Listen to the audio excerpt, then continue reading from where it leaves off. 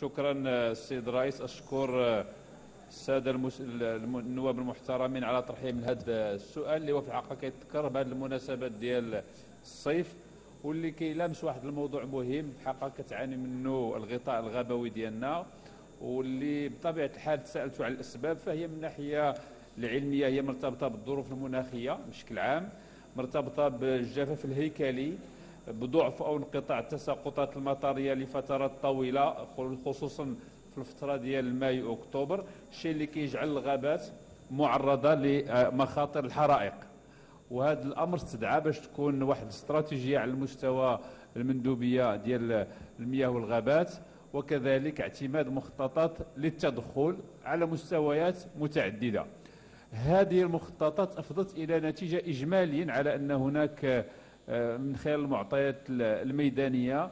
في المساحات الغابوية المتضررة كاين واحد النوع ديال التقلص ديال المساحات المتضررة من الحرائق خلال موسم 2015 حيث عرفت نسبة التقلص بنسبة 73% مقارنة مع معدل ديال 10 سنوات الماضية.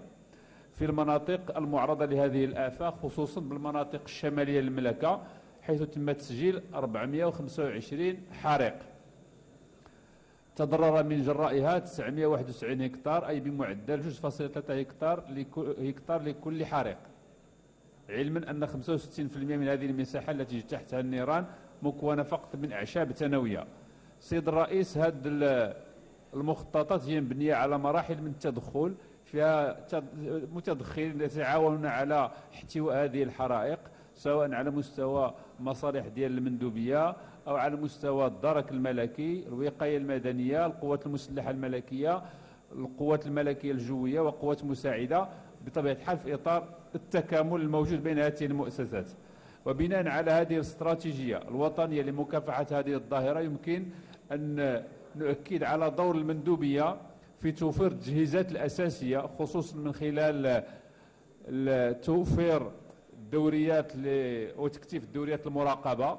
شبكة من 265 آه، رجل للمرا- للمراقبة أو من خلال الصيانة ديال المسالك الغابوية أو الاقتناء ديال السيارات ديال التدخل السريع 96 وحدة على الصعيد الوطني. وهذا كيخضع لواحد البرنامج سنوي كذلك ديال التوعية والتحسيس ديال الساكنة المحلية وديال المرتدين ديال الغابة. آه، فيما يخص مكافحة الحريق تمرت التدخلات عبر أربع سنوات.